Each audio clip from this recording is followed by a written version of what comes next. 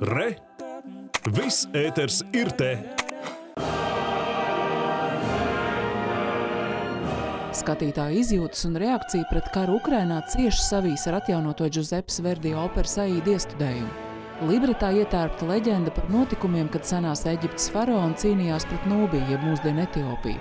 Pie diriģenta pults šoreiz Pjērs Džordžo Morandi, galvenajās lomās solisti Tatjana Trenogina un Andris Ludvigs. Для меня это роль мечты. Man šī ir sapņu loma. Nodziedāt aīdu, tas nozīmē ķerties pie kaut kā brīnumaina, izcila mākslā. Aīda vienlaikus ir ļoti stipra un maiga. Vajag tādu spēku, lai mīlestības vārdā ietu nāvē. Un mani dievi būs arī tavi dievi, un mājas ir tur, kur ir mīlestība, dzied Aīda, Etiopijas valdnieka meita. Nonākusi verdzībā Ēģiptē, viņa iemīlas pretinieku armijas virsniekā Radamesā, kuru iecerējusi arī faraona meita Amnerisa. Traģiskais mīlas stāsts izkristalizē īstās vērtības. Radamies ir mūža loma. Par to sapņo daudzi. Ziniet, varētu nodziedāt šādu iestudējumu un eh, aiziet no šīs mākslas, bet viss vēl ir priekšā.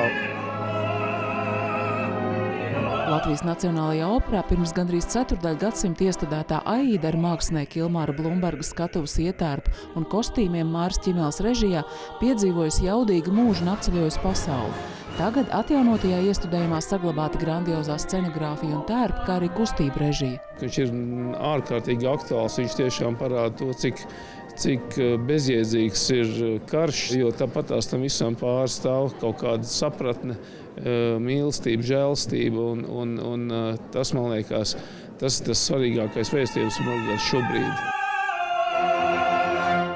Blumberga scenogrāfija un ķīmijas režija nav zaudējusi ne santīmu no tās aktualitātes. Absolūti laikmetīgs pasakāns iestudējums un tēma.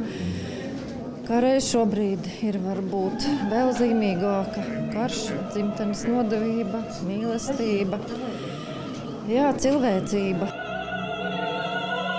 Pirmkārt, kad vērtības nepazūd. Otrkārt, ja ir ģeniāla scenogrāfija un uzvedums, tas nepazūd. Ja? Un nezaudēs arī aktualitāti. Un tieši tās vērtības, kas iet cauri laikam, ir tās, kas mūs glābs no visā pasaules vājprāta, kas šobrīd notiek.